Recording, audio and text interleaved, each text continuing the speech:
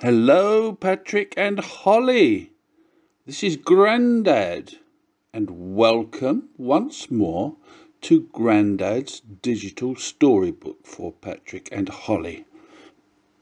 Today, we are going to sing Jack and Jill Went Up the Hill. Now, if you're there, Patrick, with Holly and Mummy and Daddy, you all sing it together. Okay?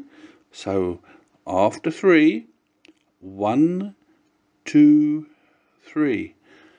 Jack and Jill went up the hill to fetch a pail of water. Jack fell down and broke his crown, and Jill came tumbling after. Now, wasn't that nice? Now you see if you can uh, try and say the the nursery rhyme together with Mummy and Daddy and Holly. And we'll see how you're getting on next week. So from me, Grandad, love you Patrick, love you Holly, and love to Mummy and Daddy too. And we'll see you all there next week. Bye. Bye.